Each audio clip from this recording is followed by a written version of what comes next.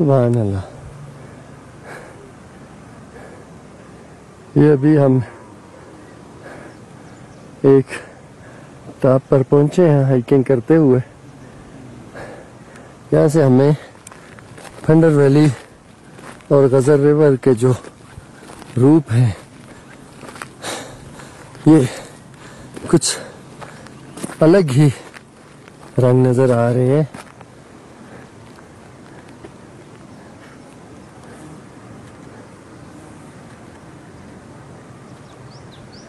ये माल मवेशी दरिया को क्रॉस करते हुए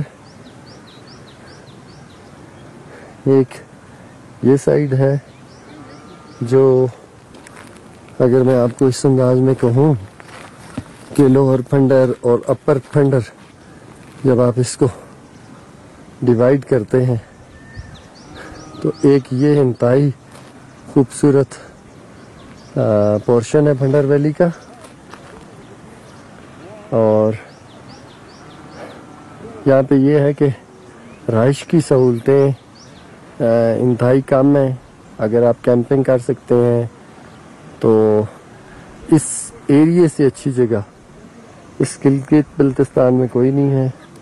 ये दरिया के दरमियान में जो आइलैंड्स हैं, मेडोज हैं, इंतहाई लश, ग्रीन और सॉफ्ट ग्रास है। यहाँ पे आप बेहतरीन अंदाज में कैंपिंग कर सकते हैं। आ, ये एक साइड मैं आपको दिखा रहा हूँ अभी इस वैली की। ये गाँव है फंडर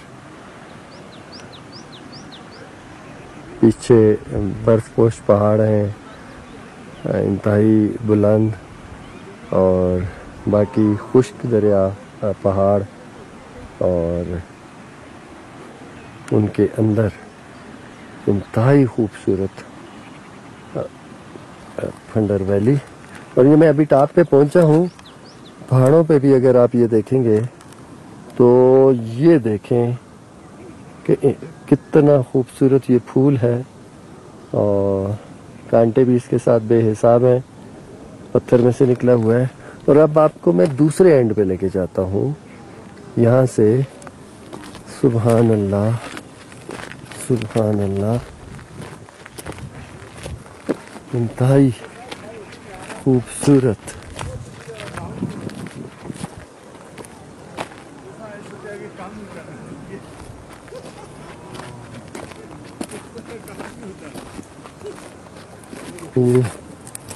गजर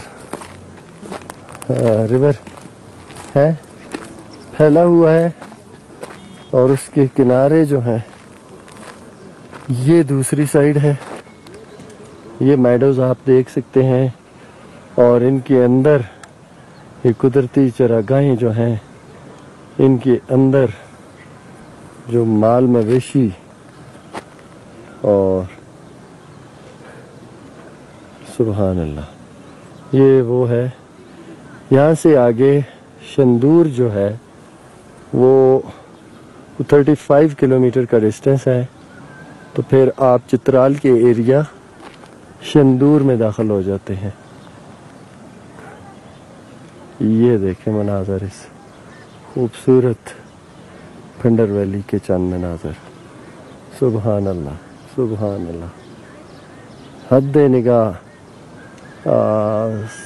सब्ज़ा, हरियाली और उस पे ज़िंदगी को एंजॉय करते हुए माल मवेशी इंतहाई खूबसूरत लोग, मिलनसार लोग, मोहब्बत करने वाले।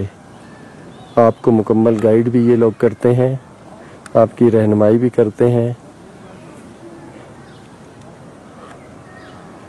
सुबह अल्लाह ये ये दूसरा एंड है जो मैं आपको दिखाना चाह रहा था।